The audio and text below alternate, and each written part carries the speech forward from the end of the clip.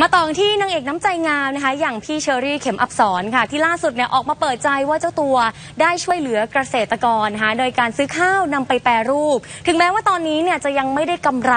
แต่ก็คาดหวังนะคะว่าจะสร้างราคามาตรฐานให้กับเกษตรกรค่ะ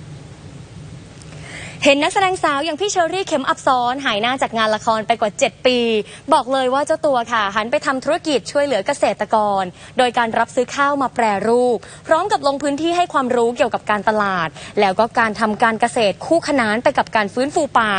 แต่แม้ว่าเจ้าตัวจะยอมรับค่ะว่ายังไม่ได้กำไร แต่ก็มุ่งหวังว่าการช่วยเหลือในครั้งนี้ จะสามารถกำหนดราคามาตรฐานให้กับเกษตรกรได้ค่ะ ซื้อข้าวรับซื้อข้าวจากชาวนาที่สกลนคร แล้วก็เอามาแพ็คแบรนด์ขายตอนนี้ก็เริ่มแปรรูป เพิ่มมูลค่าให้กับข้าวไทยอะไรอย่างเงี้ยค่ะเราอยากสนับสนุนแบบเกษตรกรเพราะต้องบอกว่าเมืองไทยอะการบุกรุกป่าจากการทำการเกษตรมันเกิดขึ้นเยอะ เพราะฉะนั้นอะเราจะทำยังไงให้คนที่ทำภาคเกษตรเนี่ยเข้าใจว่าการเกษตรมันสำคัญนะ มันสามารถช่วยฟื้นฟูป่าก็ได้ด้วยอะไรอย่างเงี้ยค่ะ